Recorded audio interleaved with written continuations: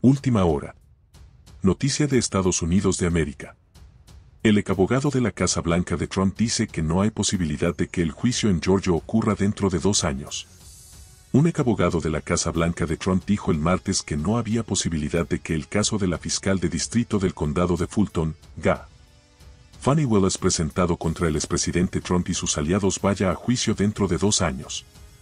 Willis dio a conocer una acusación de 98 páginas el lunes por la noche acusando a Trump y otras 18 personas por sus supuestos esfuerzos para anular los resultados de las elecciones de Georgia de 2020. También anunció que quiere adelantar un juicio dentro de los próximos seis meses.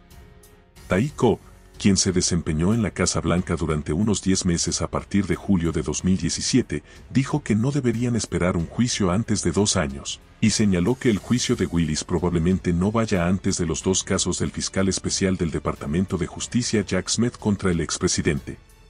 Desde mi punto de vista, no hay ninguna posibilidad de que Fanny Willis vaya dentro de dos años, dijo Cobb, y agregó que con 19 acusados y diferentes cargos, todos tendrán mociones en abundancia. Argumentó que el caso tomará mucho tiempo para estar preparado, y señaló que habrá mociones de separación y desestimación del caso. Dijo que si el caso tiene lugar después de las elecciones de 2024, también podría generar una posible batalla en la Corte Suprema. Dios no quiera que Trump gane la presidencia, entonces habrá una pelea en la Corte Suprema sobre si puede proceder contra el presidente en funciones durante su mandato, dijo. Dicho. Ese es un problema que nunca se ha resuelto.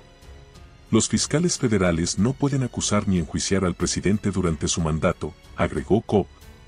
Pero en cuanto a los fiscales de los tribunales estatales, ese problema nunca se ha resuelto y podría retrasar las cosas por bastante tiempo.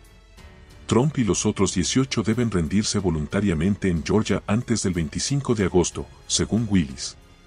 ¿Y tú dime qué opinas? Gracias por tus comentarios y que Dios los bendiga.